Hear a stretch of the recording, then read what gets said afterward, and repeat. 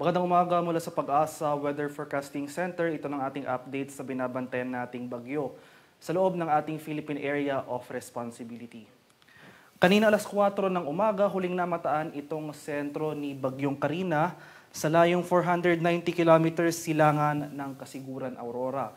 Isa pa rin itong tropical storm at bahagyang lumakas at may taglay na lakas ng hangin na malapit sa gitna na umaabot sa 75 kilometers per hour at uh, pagbugso na umaabot sa 90 kilometers per hour.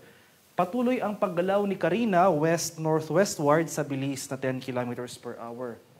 At uh, sa ngayon, makikita natin dito sa ating uh, satellite images, itong mga kaulapan na nakakaapekto sa ating bansa ay ang uh, pag-iral ng southwest monsoon, yung hanging habagat na hinahatak ni Bagyong Karina. Kaya ngayong araw makaranas tayo ng maulap na kalangitan na may mga kalat-kalat na pag-ulan, pakulog at pagkidlat sa western sections ng uh, Luzon at Visayas, particular na dito sa area ng Antique, Northern Palawan, Occidental Mindoro, Zambales, Bataan at sa lalawigan ng Pangasinan at sa La Union.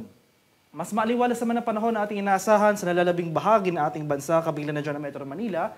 Ngayon pa man maghanda pa rin tayo sa mga tsansa ng biglaan at panandali ang buhos na ulan na dulot ng localized thunderstorms. Dito rin sa ating satellite images, itong uh, si uh, Tropical Depression na dating si Butchoy ay nandito na rin. Uh, patuloy na nasa labas pa ng ating PAR at wala ng direktang epekto sa namang bahagi ng ating bansa.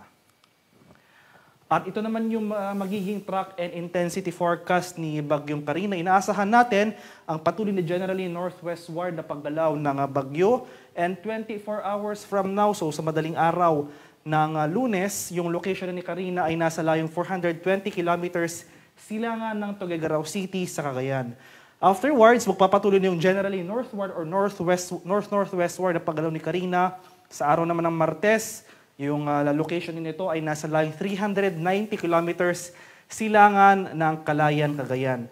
Magpapatuloy yung pahilangang paggalaw nito patungo sa northern boundary ng ating Philippine Area of Responsibility and uh, by Wednesday ng madaling araw, yung location nito ay nasa layong 365 kilometers east-northeast ng Itbayat, Batanes.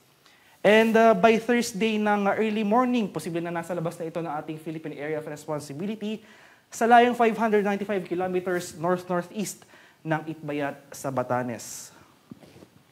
At uh, para naman sa mga pag-ulan ng heavy rainfall na dala nitong si Karina, inaasahan natin na yung uh, si Karina magdudulot ng uh, mga direktang pag-ulan sa ilang bahagi ng ating bansa.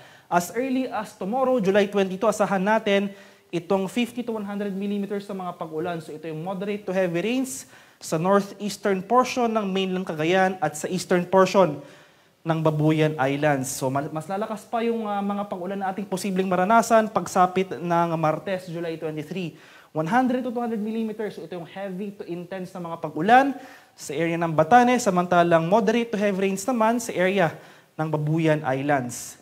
And in addition sa mga pag-ulan na, dali, na dala ni Karina, makakaranas rin tayo ng mga pag-ulan na dala ng southwest monsoon o hanging habagat nakakatakin ng nasabing bagyo sa mga susunod na araw. So itong enhanced southwest monsoon, posible rin magdulot ng moderate to intense sa mga pag-ulan dito sa western portion ng Luzon sa mga susunod na araw. At para sa mga karagdagang detalye ng mga pag-ulan na dala ng habagat for the next uh, three days, as early as today, makaranas tayo ng mga pag-ulan na dala ng habagat na hinahatak ni Bagyong Karina itong uh, areas ng Zambales, Bataan, Calayan Islands ngayong araw makakaranas ng moderate to heavy rains. Mas lalakas pa yung mga pag-ulan na dala ng habagat starting tomorrow, July 22. Mas rarami rin yung mga areas na makakaranas ng uh, pag-ulan. 100 to 200 mm rains ang posible nating maranasan. Heavy to intense rainfall yan sa areas ng Occidental Mindoro, Zambales, Bataan, Benguet, Pangasinan, at sa La Union. Samantala, katamtaman hanggang sa malalakas na pag-ulan naman, ang posibleng maranasan sa Abra, Cavite, Batangas, Northern Palawan at sa nalalabing bahagi ng Ilocos Region. Pagsapit naman ng Martes, July 23, pagpapatuloy mga malalakas sa pag-ulan na dala ng habagat, mapapanatili yung mga pag-ulan na ito gawa nga ng uh, pag-iral o yung paghatak ni Bagyong Karina sa southwest monsoon. Magpapatuloy yung heavy to intense rains, 100 to 200 millimeters, sa areas na Occidental Mindoro, Zambales, Bataan, Benguet, Pangasinan at sa La Union.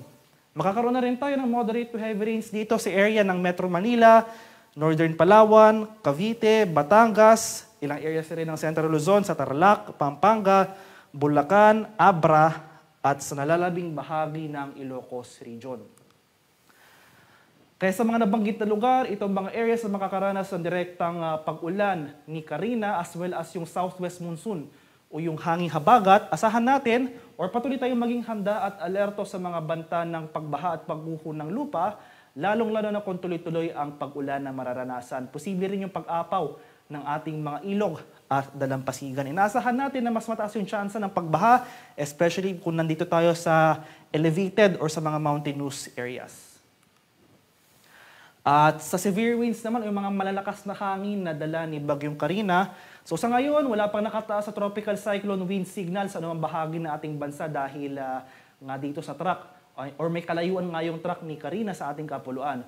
Pero hindi natin tinatanggal yung posibilidad na magtaas tayo ng wind signal number 1 sa area ng extreme northern Luzon at sa northeastern portion ng mainland Cagayan, possibly by tonight or tomorrow uh, in, in anticipation sa mga malalakas na hangin nadala ni Karina.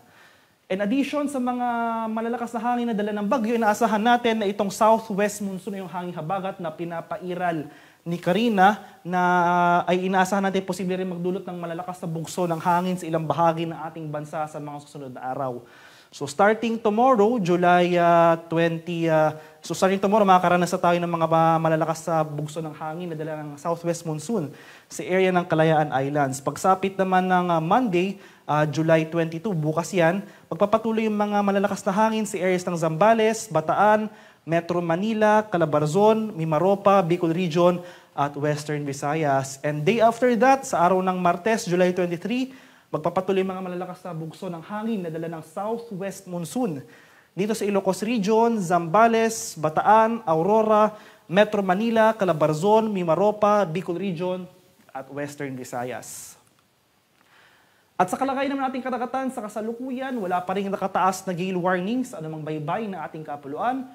Ngunit iba yung pag-iingat pa rin sa ating mga kababayan na maglalayag, especially dito sa western section ng Luzon, sa mga seaboards ng Visayas at Mindanao dahil posible pa rin tayong makaranas dyan ng katamtaman hanggang sa maalong karagatan na dala ng mga hangin nitong si Karina at ng southwest monsoon o yung hanging habagat.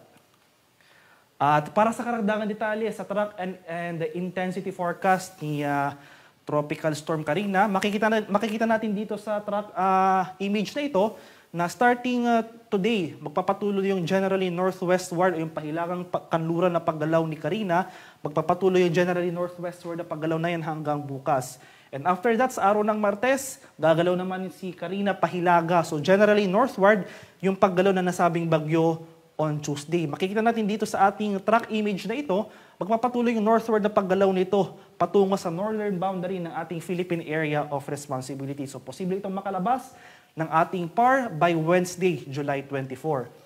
After that, kung nasa, habang nasa labas na ito ng ating PAR at malayo na sa ating bansa, magliliko naman ito, pakilagang kanluran. So northwestward naman yung galaw nito, posible nitong uh, dumaan sa area ng Sincaco Islands uh, sa labas ng ating PAR. At uh, makikita rin natin dito sa track image na posible yung uh, patuloy na paglakas or pag-intensify ni Bagyong Karina.